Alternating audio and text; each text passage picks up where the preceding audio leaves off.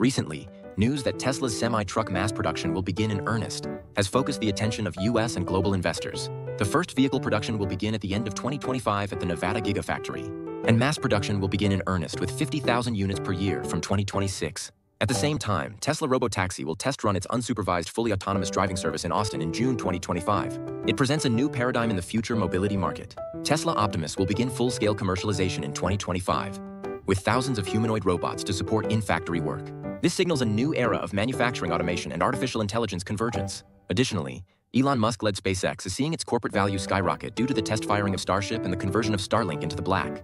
By the end of 2026, we're working on a big project to send an unmanned probe to Mars. Musk's plans to migrate to Mars are also becoming a reality with a detailed roadmap, drawing attention as a challenge to change the future of human civilization.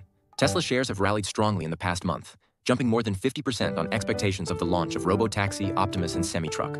In the short term, Volatility is expected due to political issues in the United States, changes in the global trade environment, and intensifying competition. In the medium to long term, various future growth engines such as Tesla's autonomous driving, humanoid robots, SpaceX's space business, and Mars migration are expected to create synergy. In particular, technological innovation, product diversity, and global market expansion will serve as Tesla's strengths. So far, this has been Investment Asset Manager's U.S. stock market briefing.